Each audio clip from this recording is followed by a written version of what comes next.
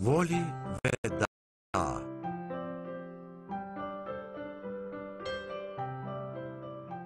Voli dışarı çıkıp dolaşıp keşfetmeye bayılır.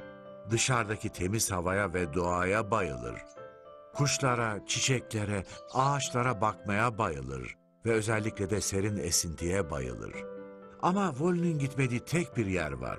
Hiç görmediği özel bir yer. Çok uzaklardaki güzel bir yer. Voli daha önce hiç dağa tırmanmadı. Her dışarı çıktığında uzaktan onu görür ve kendi kendine dağların nasıl bir yer olduğunu merak eder. Diğer tarafta nasıl sırlar yatmaktadır, dağ nasıl sırlar barındırmaktadır. Aşağıdan yeşil çayırlardan bile dağ dev bir gölge gibi görünürdü. Nasıl sırlar barındırdığını sadece hayal edebiliyordu.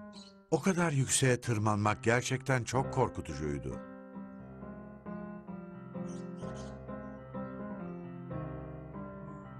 Sonra bir gün Wally bir sırt çantası ve bir sopa aldı, derin bir nefes alıp uzun bir yürüyüşe çıktı. Bir hafta yürümem gerekse bile tırmanıp sorularımın cevaplarını bulacağım. Dağın yanına ulaşınca tırmanmaya başladı. Uzunca bir süre dikkatlice tırmandı.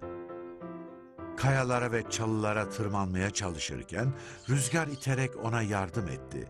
Voli ufak bir dinlenme molası verdiğinde cesaretini test eden bir şey oldu. Çalıların arasında bir şey hareket ediyordu. Aa, bir şey yok. Sadece bir geyikmiş.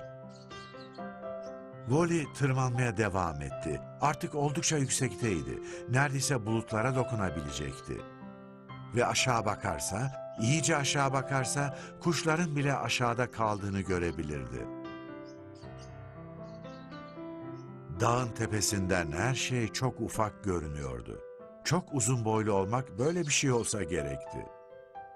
Voli'nin içi gururla dolmuştu. Şimdi adeta zıplayarak yürüyordu. Bir geyik gibi dalların üstünden atlıyor, dağın tepesinin çok yakın olduğunu biliyordu.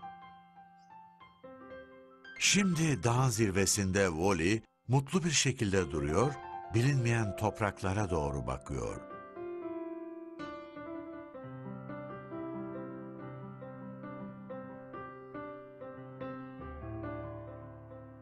Ama bu da nedir?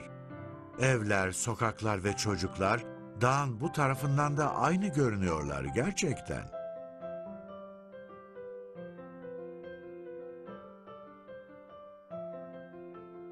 Ama bu tırmanıştan sonra Wally'nin umurunda değil. Sadece durup temiz havayı içine çekmek istiyor. Bu kadar yüksekte olmak harika bir his. Dağın tepesinde, gökyüzüne bu kadar yakın olmak.